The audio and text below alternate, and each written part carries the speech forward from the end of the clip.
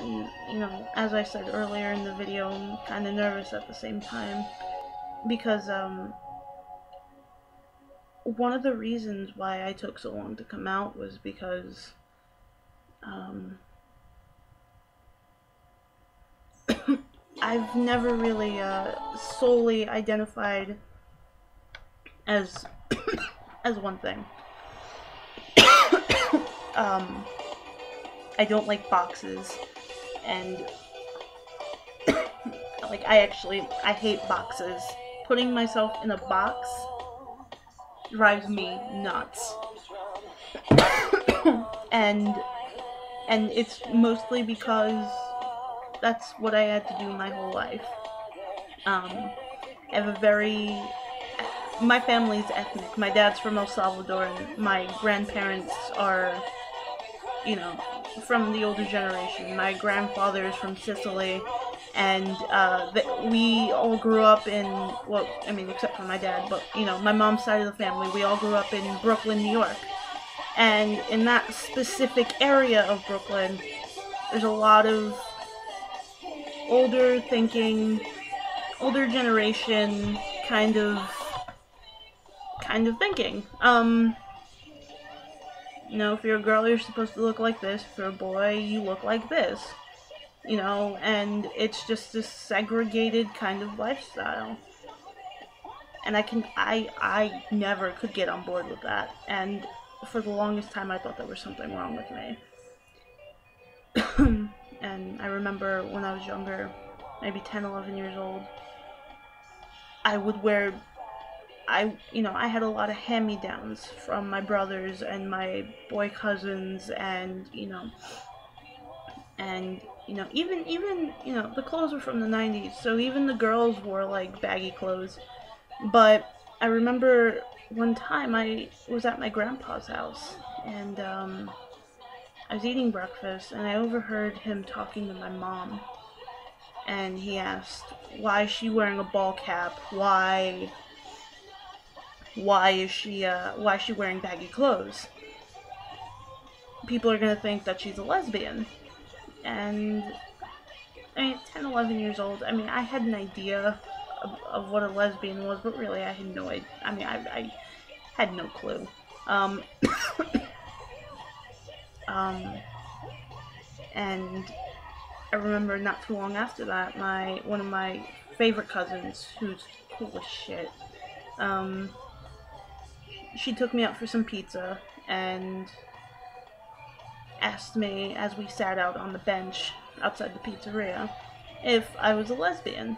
Now, mind you, the only the only notion of what I I knew what a lesbian was was Madonna and Britney Spears because I had recently seen the Video Music Awards that year and that was like the first exposure to lesbians that I, I mean, lesbians, I've, you know, that ever happened. And I told my cousin, I was like, no.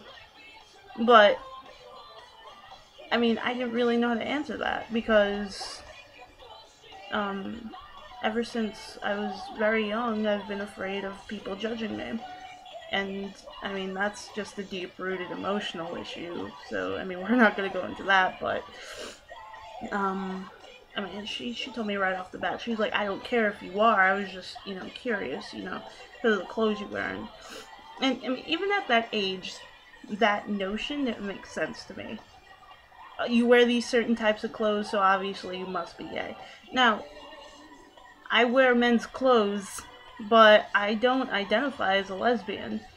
And thinking back on it now, I never did. And I knew I wasn't straight, but I tried to put myself in that box as well. And it, it didn't work out. It really didn't. Um, I just always felt so out of place and I remember, you know, I would I would be in different groups of people and I just never felt like it fit in.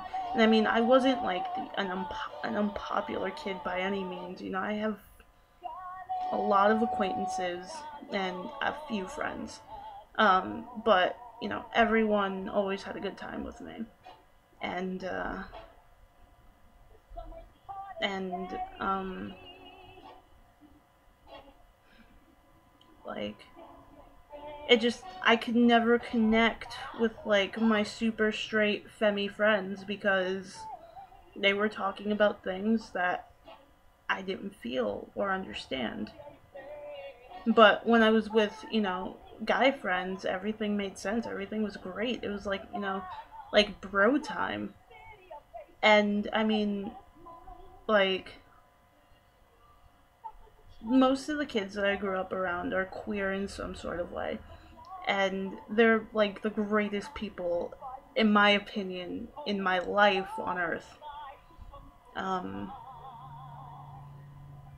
you know, like, like how do you how do you describe how awesome they are to like strangers? You know, you all have those friends. You know, friends that you would do anything for, friends that would do anything for you, friends that are just so fantastic. There are really no words to describe them. And those are my friends. Um, but I remember trying to fit in as a straight person that didn't work. I remember trying to fit in with the lesbians. It worked for a little while, but it became clear to me that I wasn't specifically a lesbian. Or that I wasn't, you know, just strictly a lesbian. And I couldn't figure out what it was because I don't really find. I don't find uh, cisgendered men attractive.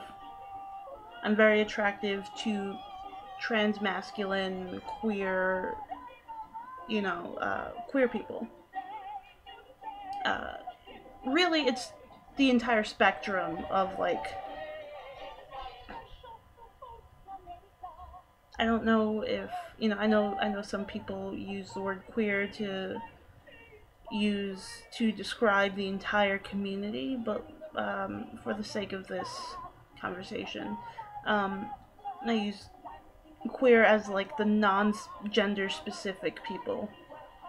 And those are the people who I find the most attractive. Um, so, what is my sexual orientation? Fuck, I don't know. Don't put me in boxes. I think people are cool. That's it. Um, and it's it's really the same with gender identity. Um, if you insist on putting me in a box, put me in the two spirit box because that's what I mostly identify with, and that was why I was afraid of coming out as trans because sometimes I don't always feel masculine inside. In fact, perfect example last week. Um, I felt especially effeminate and and you know it, it was just it was a weird sensation for me because I was just beginning to have my insides match my outsides and then you know mother nature decided to come and throw me for a loop fucking bitch and and I mean, I mean that was it. Like that was it. it. You know, and then here we are while making this video. I'm back to normal. You know, I'm I'm Brody. You know, I'm the I'm back. Um, but but yeah. Uh, um, I just I was confused because, you know, for a while, my understanding of being trans was I had to feel masculine and look masculine to be considered masculine, to be considered a man, to be considered yada yada yada, etc., etc. Once I discovered that that wasn't the case and everyone is different, it made me feel a little better and I mean, I'm still, you know, I'm still even hesitant about even saying this in the video, but because I, I don't I don't want to offend anybody because like I said, I, everyone has their own shit, everyone has their own stories. This is just my story and my discovery. and I mean, I'm nervous. I'm nervous um you know, the time's gonna come when I'm gonna have to think about changing my name legally. The time's gonna come when I'm gonna consider the surgery if I decide to go for it, which I am. Um, top surgery, not bottom surgery. And and I mean the whole metamorphosis, the whole transition really. It's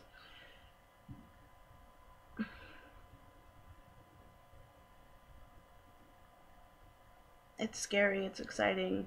Um, I already know that my family's against it, so I'm not even worried about that, but um, I guess what it is is that this is a new chapter in my life, and this is all brand new to me, and really, the only person who has been on my side consistently has been the person who runs this Tumblr with me, uh, Seer. Who's like legit one of the coolest dudes I've ever met in my whole life. Um,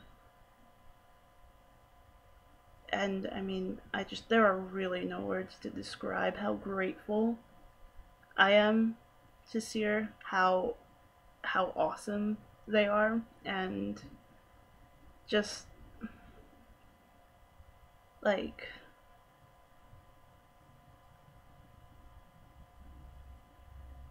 no, I mean all I could really say is that, you know, throughout this whole ordeal they've been the one who's been there for me. And I mean I've I you know we look out for each other. And that was the kind of relationship we sort of established.